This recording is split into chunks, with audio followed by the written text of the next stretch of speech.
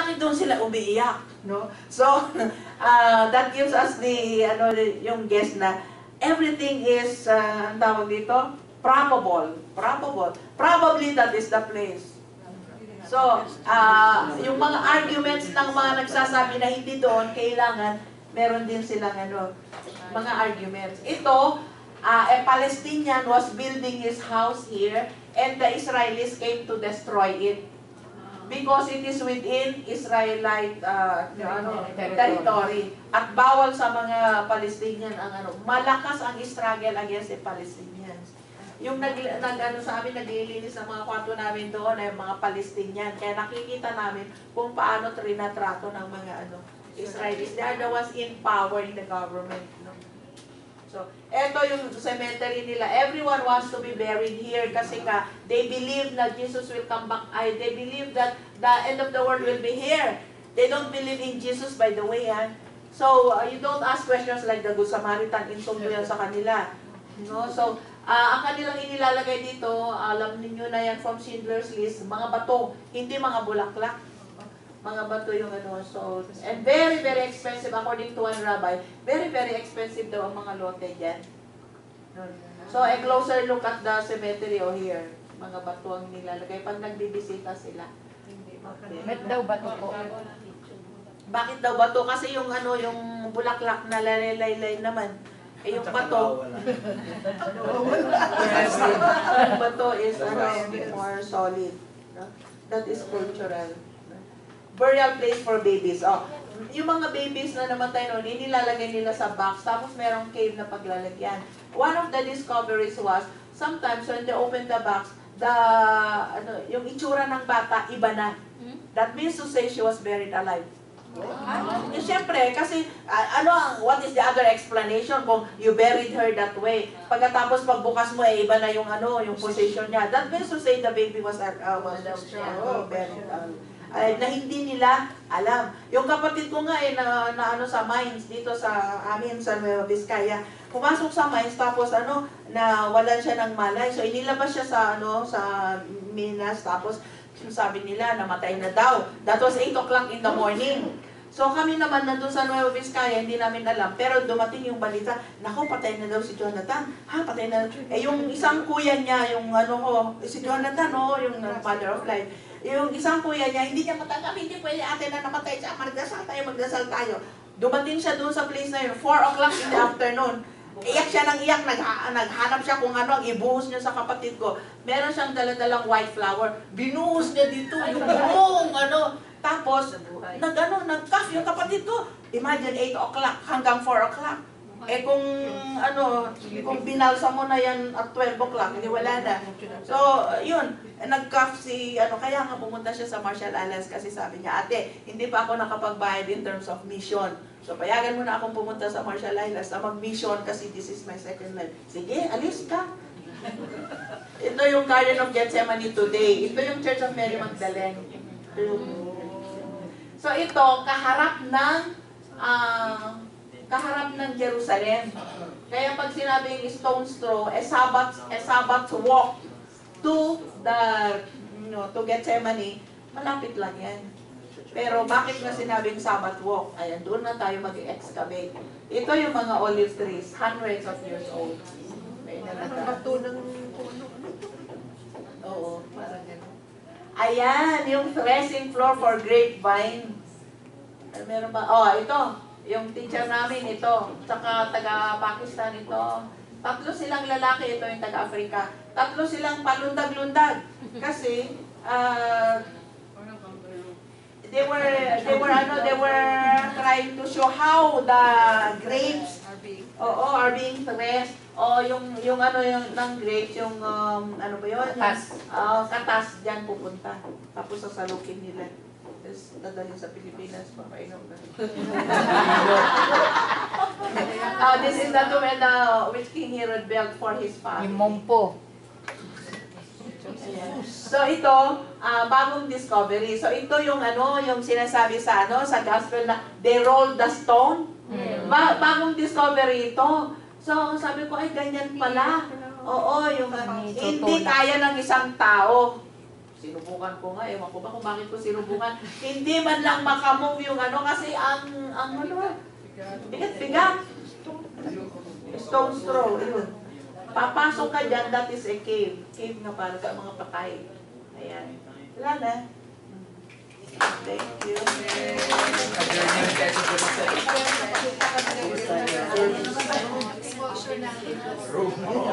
Hindi. ah if you read Verbum Domini, sa totoo lang mga kapatid, if you read Verbum Domini, it says there that the Holy Land is the fifth gospel. The fifth gospel. So, make it a point na during your lifetime, you can. You pray, and I'm telling you, prayer helps a lot. Kasi ako wala naman akong kabalang-balang punta doon, and then all of a sudden, nandun ako.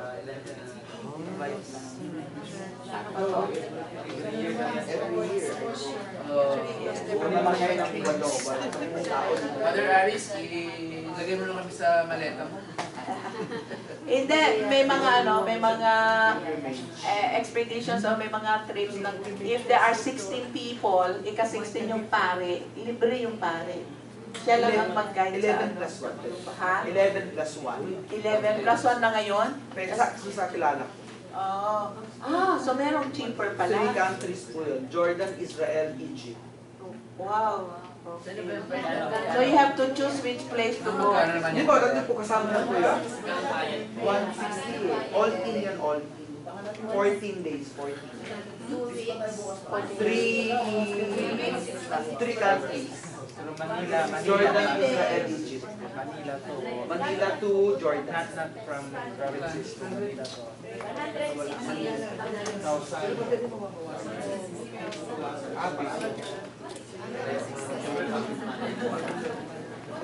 Ah, yan yung sinasabi kong ano. oh. Alam niyo ba ang staphylococcus aureus? Ayan, no? Yan. Oh, yan yung pa ako. Na-hospital ako sa hospital din na sister. Napala ko mamamatay na ako. Ito ay galing sa ano? Galing sa... Akala ko lechon. Oo, parang lechon talaga. Um, nung ano, nung inilagay na nila yung medicine sa akin, it, it came out dito sa pako, yan oh. So, I was sleeping and I thought I would die. If I would not have been brought there earlier, kasi within 7 hours, mamamatay ka talaga. But ano, Ah, I went to, uh, I will not tell you where the seashore is kasi baka matakot kayo. I went to a seashore, mag ano, ocular inspection kasi doon mangyayari yung National Bible Workshop. Pagkatapos sabi nila natin magano tayo yung mag ah, ano ba yung uh, Fishing. Sisipline, sisipline. Sabi ko, ba't ako magsisipline? Eh, ano, tanda-tanda ko na, nahulog pa ako dyan, tapos may dyaryo pa ako, sabi ko ganyan. Tapos sabi niya, sige, mag-ano na lang tayo, mountain climbing. Sabi ko, galing ako sa bundok, punta ko dito mag-mountain climbing. Ah, bahala ka na sa buhay mo, sabi nila. So, pumunta ako sa shore. Ganyan-ganyan ako sa ano. And probably, meron akong nasaktan na whatever animal that was. Pero hindi ko alam, hindi ko alam.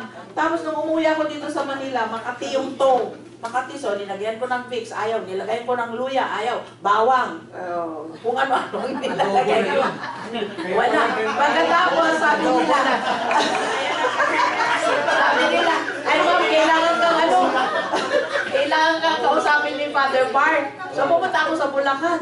Habang nag-usap kami ni Father Bart, si Bart, sabi ko, Mosi, Mosi, may sit down because I'm feeling, ano, I'm feeling not well. Sabi niya, anong nangyayari sa'yo? Tingnan mo yung tsura mo. Eh, paano kung tingnan ang tsura ko eh, wala namang salamin. So, and then when I sat down, sabi ko, Mosi, Mosi, can you bring me a place where I can lie down? Kasi talagang masakit ang ulo ko, ganyan. Eh, sige na, magpili na kayo ng and then I will just uh, inform you later. And yung bumalik sila, siya after 30 minutes, sabi ko, Mosi, please, uh, assign your driver to bring me to Manila, to the MC, and sa FMC, oo, sa hospital kasi yun ang malapit sa office namin. So they brought me there and they said, "Ah, oh, ano talaga ang masakit? Ay, masakit ang ulo ko. So akala nila, ah, malaria, no?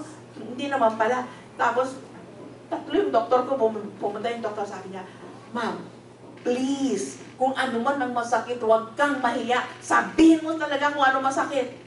Ay po, dito po. Kasi nahiya, da, da sakit na fistay, ano. so nahiya ako magsabi na ito ang ano, sakit. So sabi ko, ah, yeah, ito po, doktor. Ah, nung sinabi ko dito, in-inspect niya inch by inch hanggang makarating sa toe. And then sabi niya, ma'am, meron naman palang opening sa toe. Eh, hindi ko naman alam na yan. Ah, how serious is that, uh, doctor? Sabi niya, pinasukan ka ng virus. Hindi yan bacteria. Yan ay virus. And it is coming to your heart. By the time it reaches your heart, you're dead. Kasi kakainin ng ano. So, virus. Mm, so, virus. And, ano, so, naghanap talaga sila ng ano, ng medicine. Nung inilagay na nila yung tatlong medicine, nag-delirium na ako. So, tinignan ko yung ano, yung isang room, parang nandun si ano, si uh, Jose Rizal na naka, ano, naka-uniform, parang nagmi-meeting siya na, kunin na natin siya. parang ganun ba? So, nung tumingin ako, sabi ko, get out! Tapos nagising yung kapatid ko, ano sasabi mo ate? Get out! Si Rizal, oh! Nagmi-meeting, kunin na ako. Ganyan, oo. Get out! Get out! I'm telling you, get out! Ako pag nagagalit, nag-i-English eh. so, nung ano, nung pumunta yung doktor, sabi niya, if you would not have been here no, uh, a few hours ago, you would have been dead. And true enough, nung nakita yung pa ako ni uh, uh, no, si Judge, si uh, former Judge Puno, sabi niya, Yan natin? Sabi ko, opo. Tapos maluha-luha siya. Yung pala, yung asawa niya, nagkasakit ng ganyan. Tapos lumuwas siya to go to Hong Kong on a private plane just to get the medicine. Pagbalik niya, wala na. Patay na yung ano, yung wife niya. So sabi ko, Lord, anong message na naman dito? No, pero talagang dinalangin ko na, kunin mo na ako, hindi ko na ito kaya. Sabi niya siguro, ano, hindi, kaya mo yan. No? So, Oo, talagang ano, ang sakit-sakit kito. Ganyan ako, ano, kasi hindi ko kaya sa bed ang bedpan. Ay, ayoko ng bedpan. Sabi ko, ayoko ng mga kung anong-anong lamping dyan. Basta, labas ako sa bed ko. So, even if it is not allowed, I jump from the bed and then go to the comfort room. Nung nagano na ganyan na, kaya Oo. Next slide. So, so ano, mag-ingat kayo sa ano ha? Mag-ingat kayo sa staphylococcus aureus. Saan na nakukuha yun? Ah, sa seashore. Alam nyo kung al- alam nyo kung bakit alam ko sa seashore kasi nung nasa ospital ako, ah, sinabi ng ano Metrobank na meron akong utang na 80,000. Paano po ako nagkautang ng 80,000 eh na ospital ako during that date na sinabi nilang kinuha ko yan sa Milan. Hindi ako pumunta sa Milan. So sabi niya, ah, bakit po kayo na ospital? Di I explain. Eh sabi niya, ay, yung kaibigan kong pumunta sa Hong Kong, binisita yung asawa niya, pumunta sila sa ano, sa shoreline. Namasyal sila. Ganon din ang nangyari sa mister niya, hindi naman sa misis, sa mister niya. Hindi na nakakauwing buhay. Namatay doon kasi hindi nila na-identify. Only to find out after the autopsy na yung pala. Staphylococcus aureus. So doon ko na naman na, ano, na-reflect na sabi ko, among so many people, I have been spared. So, syempre yung pasasalamat mo, lalong na i-intensify na, Lord, ano ba ito? So, let us go forward na kasi hindi na natin marami kwento. Pero, ah, ini-intensify ko lang yung sinasabi ni ano kasi, ni ah, Father Bert, huwag ninyong sayangin ang inyong mga karanasan. Kasi ang Panginoon nagsasalita din sa pamamagitan ng ating karanasan. Positive or negative, meron at merong sinasabi. And I can I can vote for that. Minsan sa eroplano na naman, ano, papunta sa Zamboanga. Sino yung Zamboanga dito? Papunta sa Zamboanga, sa PAL, eh, natulog ako. Eh, nagpapakain sila, eh, ayaw kong kumain. So, nag- nagbigay sila ng mga kape. Ang mga kasama ko, mga Muslim. Nako, nag-turbulent na ganyan, oh. Nag- yung, yung eroplano. Tapos yung mga Muslim, eh, siya lalala, eh, siya. S- Sabi ko, nako, kung mag-sign of the cross ako, sasabihin ako yung jinx dito kasi ako lang yung katoliko dito. Nilabas ko yung cross ko, Lord, not yet, not yet, not yet, not yet. Not now. Gano'n na naman ako, ay, naku, ano no? So, nung nag-settle down na naman yung ano, ayan, sinasabi mo, kunin ka na. Pero kung kukunin ka pala, hindi pala, not yet, not yet, ano ka ba talaga? Sabi ganyan. That's why I understand yung mga prayers na sa Psalms, di ba? Diretso silang magsalita sa Psalms, sa prayers nila. Grabe ang mga experiences ko sa buhay talaga, oh. Anyway, I have to take care of myself because if I don't, who will? All right. So, I'm going to introduce you to uh, no, yung ano, way of uh, dealing at least with uh, very short lang naman ito. This was our lecture sa BEC, but this is not our topic. Our topic has something to do with how to deal with the verses in a shortcut way. So ito, Bible sharing, no? In the light of verbum domini. Pwede, rin, pwede rin ninyong tawagin itong DARE. No? Data, then analysis, then reflection, and then Spirit Okay. engagement. So, but we called it Be Fast. Ito naman ay sharing ni ano ni Bishop Ambo. Yan. So, ito yung reading for example. And then after that, what is the process? Alright, we have, uh, so you gather the people together, three or four. Greetings, and then prayer, opening prayer, set the mood. And then reading of the text that is beforehand. And then silence. Why? Silence is for the reflection and analysis. Analysis muna. Analysis of the story. And then meaning of the reading. Kanino ba nagsasalita? Sino ang audience? Ah, anong sinasabi ng reading? Etc. etc. And then silence again. Kasi yung second silence na yan, anong sinasabi nito sa akin ngayon?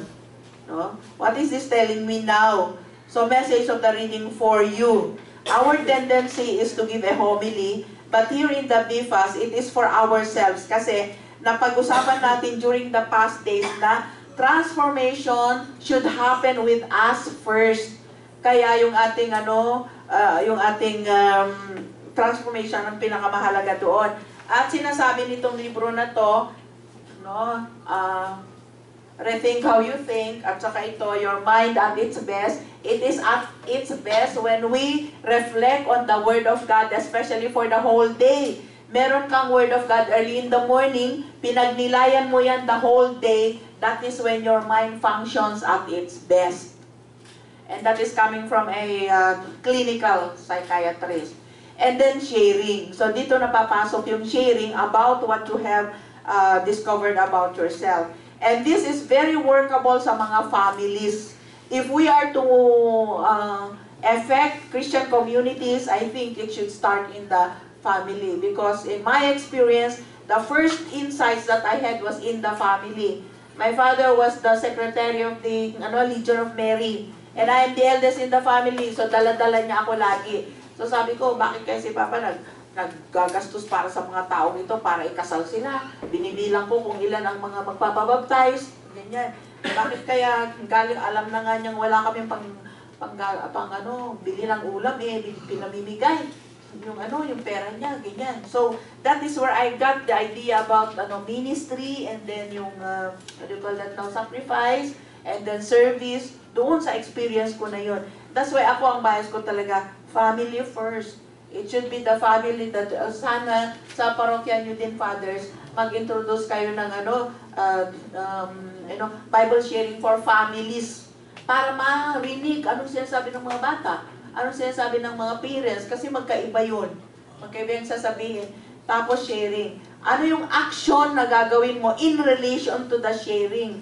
So for example, yung binasa natin kanina sa Luke 10, 38 to 42, yung Martha and Mary. So, yung, yung binasa mo yung sabi mo na, ay, hospitable pala si Martha. Pero dapat, yung hospitality mo, it should not be over and above yung priority. What is the priority? The basis of your hospitality is the Word of God. Listen first to the Word of God. And it is the Word of God from which you gain the strength and the inspiration to be hospitable. So, anong gagawin ko ngayon? O, sige, hindi na ako pipili-pili kung kanino ako maging hospitable. Yan po ay thesis ko din sa ano, MA in uh, Religious Studies Major Scripture. Yung uh, major in Values Education. So, yung hospitality in Luke Acts, its implications to uh, religious education. Then prayer, it is either yung prayer as an individual or prayer within the group. So this is a longer uh, longer portion, no? It's called BFAST, Bible Faith Action Sharing Team. no? So it can be done in uh, 30 minutes, tapos na yan. But don't go beyond 45 minutes because some people would not come back because of the length of time. Until such time na parang masarap ng pagkain para sa kanila, and then you can lengthen the time. Kung minsan nga, eh, pag namimiss ito, ano sila, uncomfortable sila. Ngayon, pwede rin nating Ah, ito. Ah, ito ay ano, eh, the shorter version. Shorter version, yan yung sinasabi kong the sisters go from house to house. Tapos yung prayer sila, babasahin yung reading. They ask questions about the text. Ano yung application ng text na yan sa buhay? And then prayer. For example, the text can be one can be one verse. It can be a song. So, uh, thank you Lord for bringing us together this afternoon. We miss really seeing each other and we miss you also talking to us. So, allow us Lord to listen to your spirit as we read. And then you read the reading. Lord, where, ay, ito yung anong prayer pala. Ano yung reading? For example, the reading is Psalm 115, 115 verse 1. To you alone, O Lord. To you alone and not to us.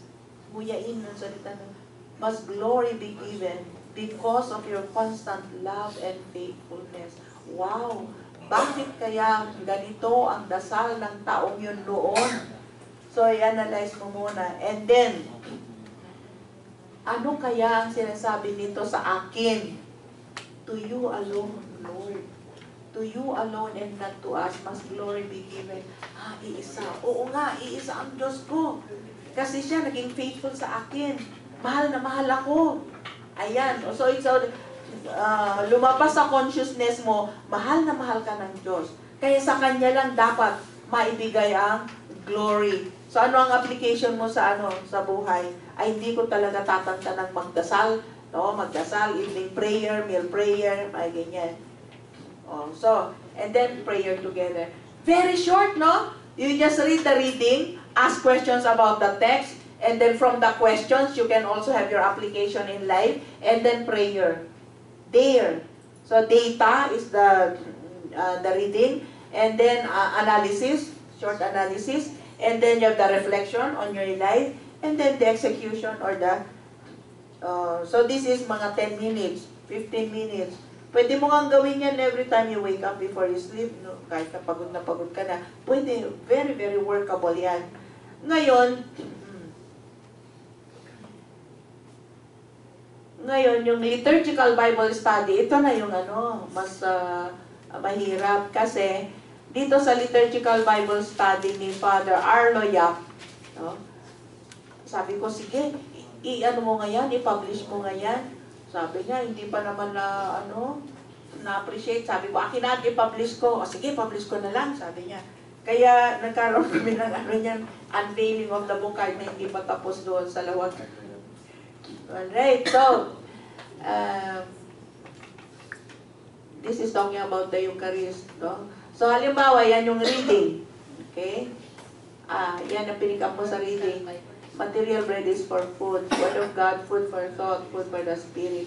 Ang ano lang naman dito ay, kunin mo yung first reading, kunin mo yung Psalms, kunin mo yung ah, ah, Gospel of the Day, and then tuhugin mo. Find the line, the thread rather, that ah, connects one reading after the other. Kaya ito ay Bible study. Kasi nga, himay-hihimay-himayin mo. Anong sinasabi sa first reading? Bakit ganyan yung response? Ano ang sinasabi sa gospel? Ano ang connection ng gospel doon sa response at doon sa first reading or second reading? Kaya ito mas matagal kasi Bible study. So it can take one hour or it can take one hour and a half. Alright, so ito ay mga guidelines para sa inyo, oo, sa I, I will give examples of, oh, ito, first reading, second reading, gospel. Tutuhugin mo yan. Ano yung, ano, na, what is it that links them together? Alright, so, bibigyan ko kayo ng examples ng mga yung short versions. Sa mga short versions, yung sinasabi kong, ano, ah, 10 minutes, ang dami-daming verse na pwedeng pag-reflectan. Ano bang gusto mo? Parenting, verses on the family, life after death. At pwede kayong maghanap sa ano, sa internet. Ay, ito yung favorite verses ko. Verses for encouragement, for men, for mi- mission. Ano yung gusto mong ano, piliin dyan? For example, uh, depressed. Oh. So, scriptures on encouragement, for encouragement of depression. So, ah, ito, Beatitudes pala yan. So, yan, pwedeng pag-reflect ka ng how many minutes lang yan. Or pwedeng, yeah, 2 Corinthians uh, 4, 8 to 9 lang. So, basahin, ulit-ulitin na basahin. Anong sinasabi nito sa mga Corinthians? Their heart bursts on every side, but not crushed. Yung sinasabi natin, inapi kami, but we're still happy. Perplexed, but not in despair. Persecuted, but not abandoned. Struck down, but not destroyed. So, example lang yan. And then, what is it saying to you now? What did it say? Anong uh, message dito sa mga tao noon? What does it say to you now? So, katulad ng sinasabi ni Father Capos, saan sa saan lugar kasi i-kunin sa ano Ah, sabihin mo lang Bible, tapos sabihin mo verses, tapos super- mag ah, lalagay yan ng verses on, verses on, tapos piliin mo lang na ganyan. At meron din akong libro, libro on ah, different ah, different verses on different occasions, for different occasions. You invest your money where your mouth is. You invest your money where your priorities are. Oo, pakita ko sa'yo bukas. Alright. Sa Ah, hindi. Hindi ako nagtitinda ng ano. Ito. Kaya nagkataon ng laro ito. Ah, Father, may powerhouse dito sa harap ng Lasal. Subukan mong pumunta dyan sa powerhouse, maghanap ka ng kailangan mo dyan habang nandito ka pa sa, sa Manila. Kasi, oh, dyan sa powerhouse, sa TAF, dito, kwan, di ba? Dito yung daan. So, doon. Oh, bookstore yun. Nakita ko. Ah, sa powerhouse din yata nakita yung ano, Secrets of the Altar. Sinong nakakalam dito ng Secrets of the Altar? Wala, never mind. Yung kay ano, Duterte. Never mind. Sa inyo.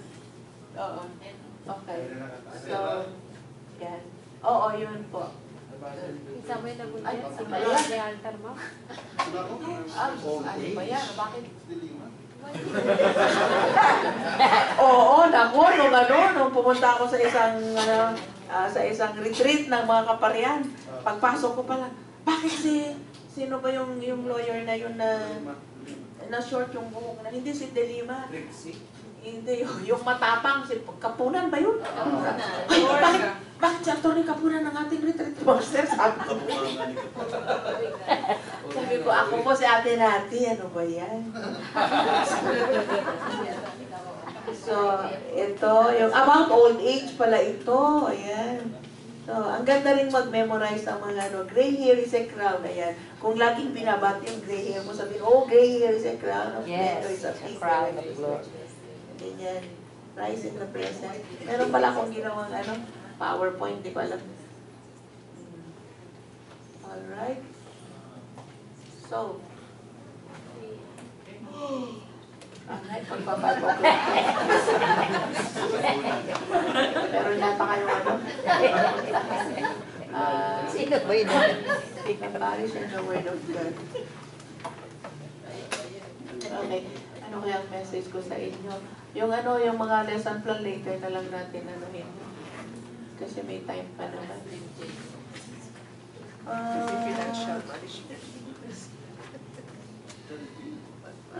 excavator, ito. Picture, picture. Sige. Pero, mag, mag-aral din ka ng isa pang kanta. Adonai. Ozi Veshimratya Vaihili Lishua vai lilishua Ozi Veshim Pratya Vai.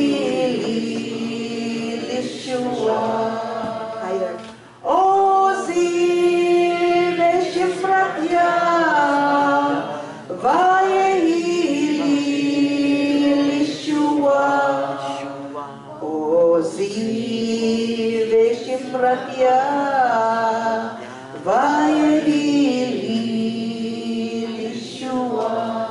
So you start and then the next again. Ozi, ready? Go. Ozi Veshimratya Ozi Veshimratya Shimratya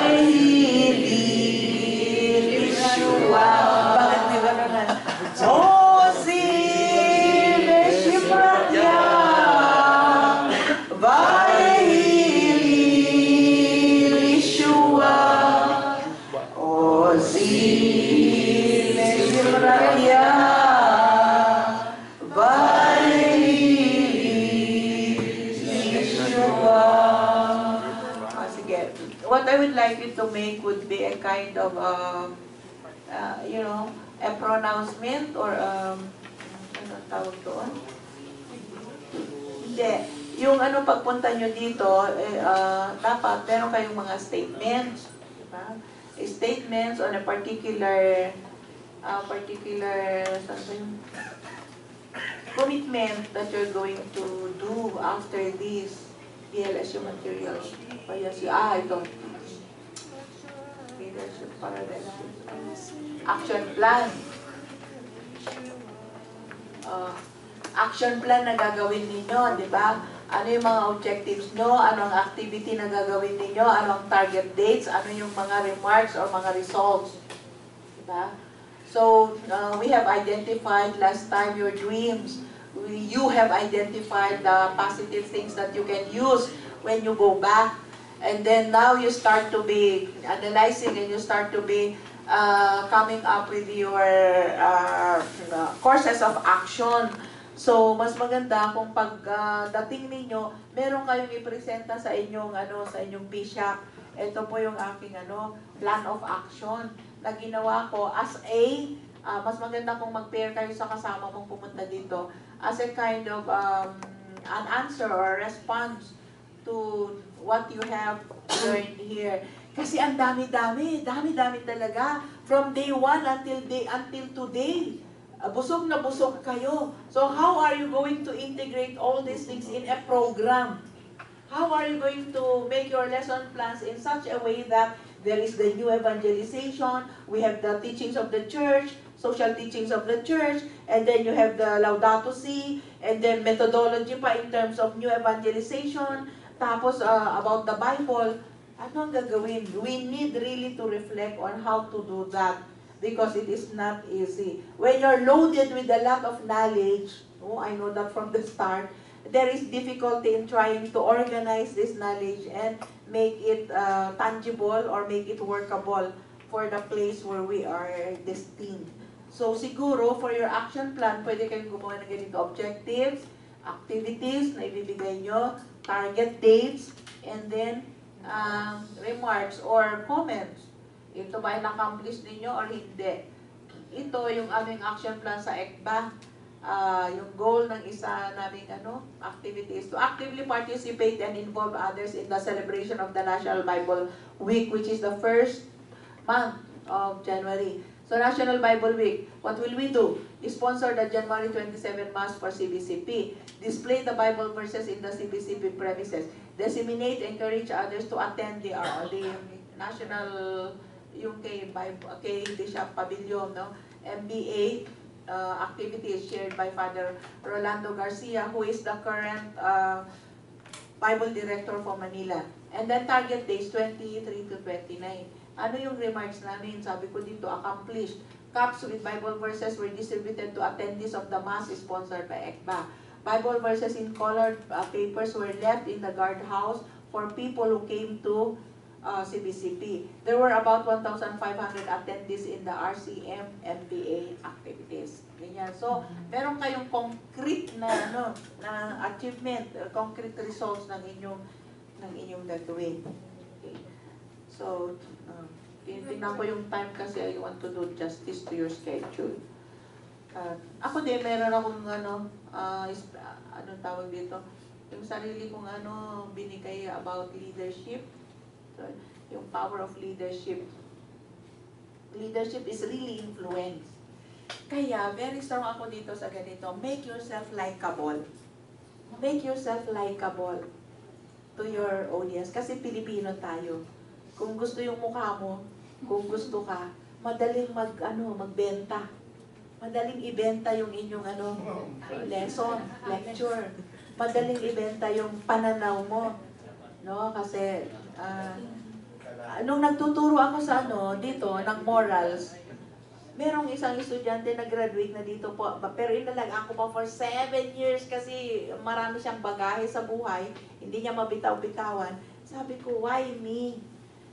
Sabi niya, kasi ma'am, yung pag-present mo ng morals is not ah, imposing. Kasi ang pag-present ko, this is what the church says. This is what the Bible says. This is what I say. This is pagadusya. How about you? What do you say? Ganyan ako. Hindi ko sinasabi ko, dapat ganito tayo ah, ayun, dapat ganyan. Hindi. Oh, this is what, the, so I'm presenting your college students. So you have a mind of your own. You have uh, the, discernment that is necessary to choose what is right from what is wrong. I'm not going to impose on you. I am the teacher that is given by God to you, but the final choices are yours. It's not mine. And the consequences are yours also. Ganon. So, uh, gusto ng mga young people yung ganyan. So, this is the church, this is the Bible, this is what De La Salle says, and this is what I see. Says, Pagadusya. How about you? What do you say? Ganyan. So, sila yung pipili talaga kung ano ang gagawin nila. Ma'am, kung ito ang pipiliin ko, alright, if you choose that, fine. But don't you see that the consequences are this, this, this? So sa methodology, ipakita yung consequences. Like for example, it says there, um, it has been said, ano, you can divorce. Why was it allowed in the Old Testament? Ah, because ang tigas-tigas ng ulo nyo, sabi ni Jesus. But now I tell you, do not divorce. Ganyan. So do not end there. Go to the signs of the times. Ano ang nangyayari sa mga kabataan na ang mga magulang ay nagdi-divorce? Ano ang nangyayari? Ah, Meron ka bang experience? Meron ka bang kilala? Anong nangyari sa mga kabataan, mga anak? Anong nangyayari sa ano, sa tatay, sa nanay? One time dito, 10 o'clock ma- naman ng gabi kasi ano, I go home late kasi ano, sayang pa yung kuryente ko kung uwi ako, no? Dito na lang ako magtrabaho hanggang 12 o'clock, okay pa. No, so, at saka doon, wala nang sasalubong sa akin, yung pusa lang. Eh, dito may mga kasama ako.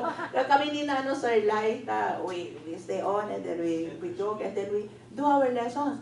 And then, 10 o'clock, may pumuntang bata, Ma'am, may talk to you. Ah, okay. Why this, this time? Kasi nababagawag pa ako sa lesson natin kanina. Ano bang lesson natin kanina?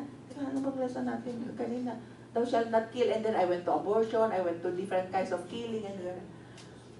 Aha, sabi ko. Mm-hmm. So you have a problem. Yes, ma'am. How old are you, my dear? 17, ma'am. Aha. You got your girlfriend uh, pregnant? Yes, ma'am. How old is she? 14, ma'am. 14. Okay. So, you want me to talk to your parents? No, ma'am, because my father got married to somebody else. My mother got married to somebody else.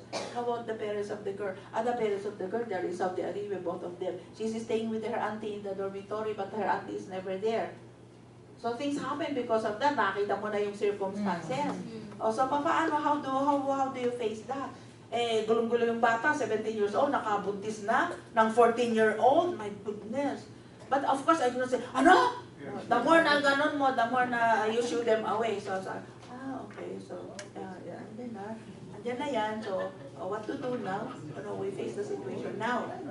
Ganon. So, yung mga ganyan pa na, ano, na situation. But, ah, hindi madaling mag-influence ng tao. So, kailangan ikaw ang maging credible. Kailangan maniwala sila na ginagawa mo talaga yung sinasabi mo. Kasi, kung makikita yung discrepancy, no, hala dito yung mga bata. Yung mga bata, sabi ng mga bata, ay nako, yung mga pare ma'am, ang holy-holy nila sa altar. Pero paglabas pala, iba sila. Naku, nagulat kami ma'am. yung mga, yung mga nagpipicture, yung mga nagpipicture dito na mga bata, sinabi nila sa akin, sabi nila, "Ah, ang holy-holy na po tayo sa altar. Sabi niya, bakit? Ano na naman ang ano? Eh kasi paglabas nila, iba sila. Yung ano nga, ganito pinag-usapan. Sabi ko, talaga mga bata. Kaya be careful with that. Beware, beware of that. I mean, be, just be aware na ganyan pala. Yung pagkasama ang mga kabataan, ano, uh, ini-interpret ang ating mga words, ini-interpret yung ating mga sitwasyon. Siyempre, among us, naiintindihan natin ang isa't isa, di ba? So, because I'm relating it with influence. Pag nag-influence mga kabataan, ang laking ano yan, malaking advantage mo. Lalong-lalo na gusto natin yung kabataan masama sa ating misyon ngayon kasi sila ang pag-asa ng bayan. But don't overdo it kasi maraming mga paring nagkakasakit ngayon. Maraming mga obispo, mga bata pa nagkakasakit na. Diyos ko, worry ako what will be the future of the church. Leadership over human beings is exercised when persons with certain motives and purposes mobilize in competition or conflict with others. We have to make a dent, ang nga sabi, we have to make a difference, no? So, nakita natin yung ano, the geese, meron din akong ano ng geese, ilagay ko din yan, isama ko sa inyo para ano, meron kayong mga ibang uh, Octopus. the ugly octopus head of secularism, no? different kinds of ism, consumerism, Ism. materialism, yan, hedonism. Akala nila, meron nga akong natutunan sa radyo eh. Ah, sabi nila, we can do anything we want. Kasi ano daw, ah, ah, yo, YOLO. Kasi YOLO ngayon. You only live once. Therefore, anything goes. Kasi you only live once. No? Tapos meron pa ako nakita doon, nag-post na babae na sabi niya eh, tatlo lang ang mahalaga ngayon. Pera, pagkain, at ako. Kung meron kang question sa pangatlo, PM mo lang ako. Ito naman, yung babae ito. Anyway, ganyan nga yung nangyayari. So, paano natin malabanan yung, uh, mga ganyang sitwasyon? Uh, we have to enter into the world of the yung kabataan na ganyan ang nangyayari, ganyan yung mga lingwahe nila. Yung mga iba nga daw dyan sa mall, nag ano, ano pala? Meron pala silang posture dyan sa mall na nagsasabi na I am available. Wanna go with me in my apartment? Ganyan. May, ma- may mga posture sila na nagsasabi na, come on. Mga come on. Paano ko yan nalalaman? Sa mga kabataan din. Sila nagsasabi sa akin. Ikaw lang pala yun. Oo. Tsunami. Tsunami of secularism as inflammation. Oh, so I go back ha. I go back to critical thinking yung ano natin. We have to question. If we want to make changes, we have to question and try to find out the root of things. Okay, itong ginagawa mo, bakit? Kasi tatanungin kayo ng kabataan, ano ba ang kahalaga ng rosaryo? Uh, will I be saved if, if I pray the rosary every day? Ano ba ang ibig sabihin ng salvation? Kasi marami tayong mga formulas actually sa Catholic Church. Mga formulas, God saved me. Anong ibig sabihin ng God saved me? Anong ibig sabihin ng God saved you? Ito ngayon, merong parang nag-light-light sa akin na, you have a mind of your own. And then sinabi lang din sa akin, sorry Nadia, you are never promoted because sabi ni Father, you have a mind of your own, etc. Sabi ko, fine, for 10 years, I'm getting out. So, di lalong nagalit yung pare sa akin. Tapos, meron akong pinagsabihan na pare na, "Ah, your brother, why, why, is, what, eh, why are your brothers in the congregation ganito, ganyan, ganyan? You cannot even ask questions, you cannot even stand for your own uh, self, etc. etc. And then yung paring ito, naging very kind sa akin, parang awang-awa sa akin. There is where I understood the meaning of redemption. Ni-redeem ako, no? From yung, yung the former one. Doon ko naintindihan yung ano, oh, never mind, kasi tapos naman na. Doon ko naintindihan yung sinasabing ano, ah, Mahila. you are saved. No? Kasi yung Savior naman, salus, coming from the word salus, and salus means health. So, well-being pala ang ibig sabihin ng salvation. So, yung mga ganyan, we dig and dig and dig and dig. We understand so that we are able to make people understand, especially the young, so that our message will be appreciated. And uh, ah, sa totoo lang, ano, we have to be very patient. Very patient, even with our own families, even with our own selves pa. You know, with our own selves. So with that, I conclude today's uh, presentation on critical thinking. I hope it helped you a little of the many things na ano ninyo na ginawa ninyo. So we're going to ritualize this. I know that bibliodrama is not for everybody. Don't give that to everybody ha. Ibibigay ko yung music ko. Pero don't give that to everybody because it is not within the sensibility of everyone. There are those who welcome that and they can use that for reflection. But there are those who prefer to reflect sitting down and be quiet and finally sleep, no? But, uh, but there are those who can use body language, and this is what we call uh, kines kinesthetic intelligence. So ang gagawin natin, anuhin natin, parang likumin natin lahat-lahat yung ating napag-aralan.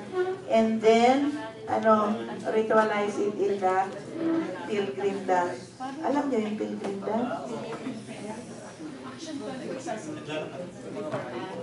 Action plan. Uh, pwede siguro para meron tayong may pakita kay father, ay kay brother, ano? Sabihin ko bukas, kausapin ko muna si Sir Lai.